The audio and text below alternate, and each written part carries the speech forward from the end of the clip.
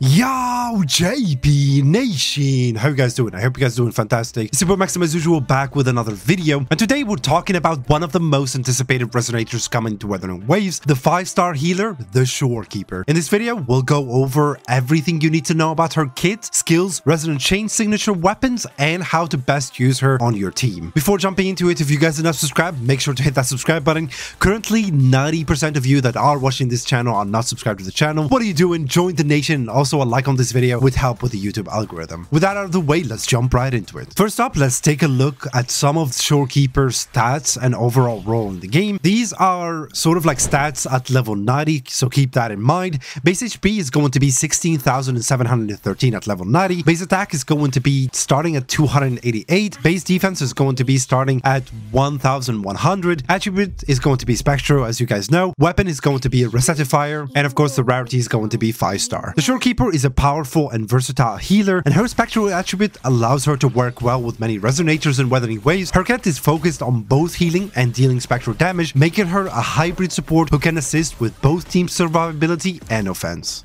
Now let's talk about the Shorekeeper signature weapon, Rectifier, and why it's a must-have for her. Base attack is going to be 413, energy regen is going to be 77%, weapon ability, health increased by 12%. When her intro skill causes healing, it restores 8 of her own Concerto energy and increases the attack of all nearby teammates by 10% for 30 seconds. This can trigger once every 20 seconds and cannot stack with the same effect. This weapon is essential for making the most of the Shorekeeper's healing potential and energy regen, ensuring you can keep the team buffed and healthy at the same time. Let's get into the meat of her kit, her skills. The Shorekeeper's ability are built around her ability to heal allies and deal significant spectral damage, while generating and using collapse cores for extra utility. Normal attack is going to be called Origin Calculus. The Shorekeepers can perform up to 4 consecutive spectral infused attacks. Each hit generates a collapse core, which is crucial for her kit. Heavy attack, hold the attack button to accumulate speculative data segments. Each second generates one segment, and upon release it deals spectral damage and converts the speculative data into actual data, producing more collapse core. This is a mouthful. Mid-air attack, a plunging attack that generates a collapse core upon hit. Forte circuit, astral core. The Shorekeeper collapse core play a major role in her damage output. Upon hitting an enemy with a normal attack, she generates a floating core, which turns into a flare star butterfly after 6 seconds, automatically attacking enemies for spectral damage. If 5 cores are present, one instantly transform into butterfly. Detection and transformation, when 5 segments of actual data are accumulated, her heavy attack or mid-air attack consumes all segments, transforming collapse cores into butterflies and dealing AoE spectral damage. Now let's go over her resonant skills and resonant liberation, which are crucial to her role as a healer. Resonant skill Chaos Theory. The Shorekeeper heals all team members and summons 5 dim star butterflies, which automatically track and attack enemies with spectral damage. This skill can even be used in mid-air, giving her great versatility.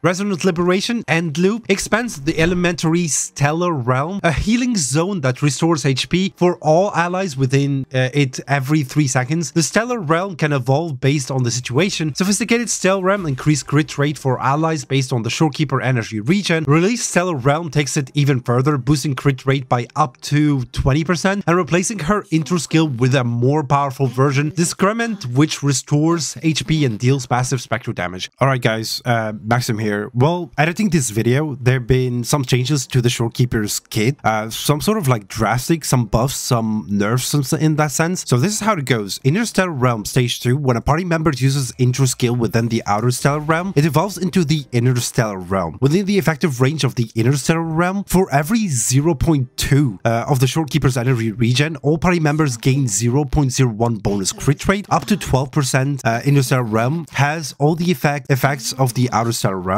Supernal Stellar Realm Stage 3, when a party member uses intro skill within the Inner Stellar Realm, it evolves into the Supernal Stellar Realm within the effective range of the Super Supernal Stellar Realm. For every 0.1 of the Shorekeeper energy regen, all party members gain 0.01 increase of crit damage up to 25%. When the Supernal Stellar Realm is generated, Shorekeeper first intro skill triggered in it, in its duration, sorry, will be replaced with the intro skill Discernment. This effect takes place once every time supernova supernova is generated. The blooded one is what changed in the old, and the crossed out ones is the what it was previously. And this was added to enhance intro. The intro skill discrement can be only cast one time for each supernova stellar realm generated. So according to what we see now, I feel like the Shorekeeper is not going to be a brain dead character. It's going to be a strategic character that can be used in every team composition, which leads me to our intro and outro skills. The Shorekeeper intro and outro skills provide some incredible utility. The Shorekeeper appears to heal all nearby and summon dim star butterflies. These butterflies deal resonance skill damage, providing both healing and offensive capabilities. Outro skill, Binary Butterfly, summon two butterflies, Flare Star Butterfly and Dim Star Butterfly. These butterflies circle nearby teammates for 30 seconds. The Flare Star Butterflies allows nearby allies to dodge automatically when hit, and this can trigger up to 5 times. The Dim Star Butterfly amplifies all nearby team members' damage by 15%. The Shorekeeper inherent skills are absolute lifesavers, literally. The Cycle of Life. When a team member suffers a fatal injury, they are revived with 50% of the Shorekeeper's HP. The Shorekeeper loses the same amount of HP, and this effect can be triggered once every 10 seconds. The second one is going to be called Self Gravitation. While the Shorekeeper is in the team, or her stellar realm is active, her energy regen increased by 10%. If Rover is in the same team, both characters receive the same energy regen boost. Which leads me to the best team compositions. With all of that in mind,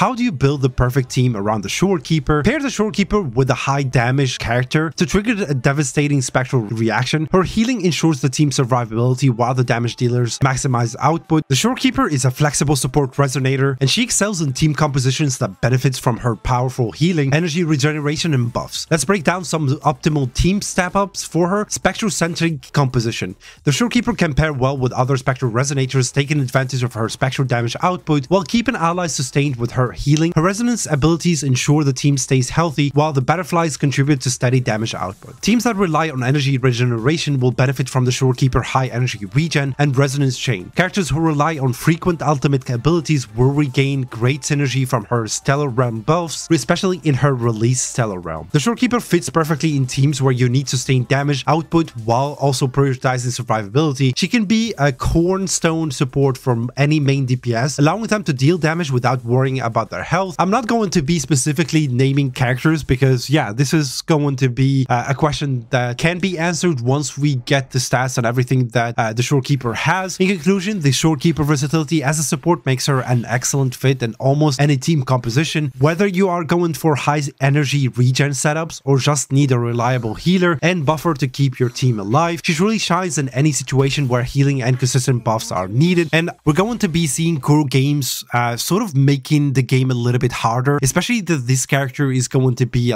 so versatile and also like contribute a lot to the team. So I think they're going to be releasing harder content in order to balance the game out, especially as the characters are going to be getting uh, stronger and stronger with every patch. So once we have more leaks and also information, I'll let you guys know. So make sure to subscribe for that. With that being said, thank you so much for watching. Subscribe if you haven't already. We're trying to reach that 10k subscribers before the end of the year, and I'll be catching you guys in the next one.